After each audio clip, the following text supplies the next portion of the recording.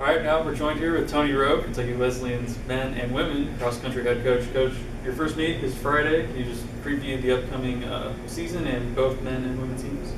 Yeah, actually, we run this weekend Saturday evening. It's uh, it's uh, Memphis Twilight Classic, which is a unusual race because it's so late uh, in the evening. We our men run at uh, 10 o'clock. 10 p.m. Women 9:20, but it's uh it's in a Mike Rose Soccer Stadium in Memphis, so it's a really unique setting. But uh, as far as uh, uh, the team goes, uh, in the men, we we feel like we're going to be quite a bit stronger than last year. Our number one runner coming back is Logan Air, and he was the, the conference uh, freshman of the year last year, so he's a sophomore. But we've got uh, we got about three freshmen that are running around him, so we feel like we're going to be a whole lot better up front. We're really dependent on our veterans, uh, Seth Applegate, Bryant Walls, and some of those guys to uh, uh, to get up there and run with them. And uh, so I feel like we could be uh, um, have a fairly close pack, and, and we're, we're working on that because I think that'll be the strength of our, our men's team. As far as the women go, uh, we have Rachel Keeley back. Uh, she's a junior. Uh, we have um, Burns and Sarah Browning and and, uh, and Alex, uh, not Alex, but uh, Aaron Wilson back. And so they all had fairly solid seasons last year. We've got a we've got a couple of newcomers actually that we brought up from the track team that are doing a decent job. So we don't have a lot of depth in the women, but I feel like we're going to be uh, also a better team uh, there. So we're, they're working hard, and uh, you know we're looking forward to opening up this weekend. Uh, on either, I guess this question's for either the men or the women's teams. Uh, just really the new newcoming freshmen. Are there any that you think can uh, make an immediate impact?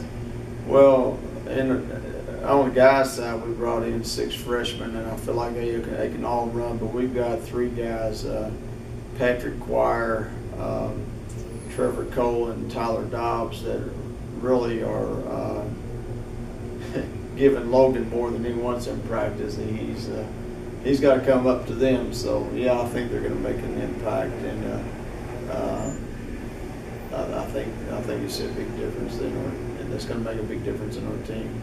And again, uh, as far as women goes, the uh, we brought up Sydney Golf and Kelly from the track team, and they put in a pretty good summer, and they'll be. Uh, I think uh, I think that by the end of the year, as they adjust to uh, to that sport, which they're not used to, uh, that they'll uh, they'll make a big difference in our team also. You mentioned it a little bit earlier in the first question. Uh, the expectations, I guess, really for both sides. Um, what, are, what do you think they are? I know, like you said, Logan Air was the reigning GMAC freshman of the year. Just kind of the improvements both sides you think can make, and ultimately where will that lead towards in the conference? Right.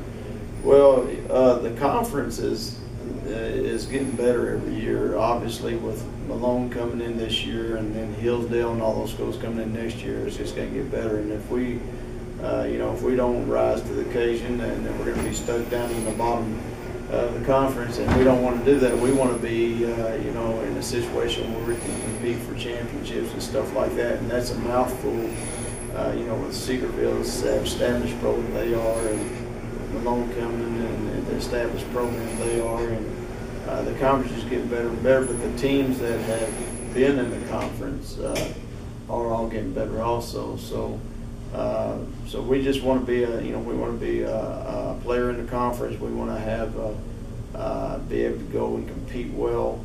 Uh, but uh, as the conference gets better, we have to get better also. And uh, you know, our goal is to eventually make a little noise on a national level. But uh, to do that, we've got to get better and better runners and, and work harder and harder.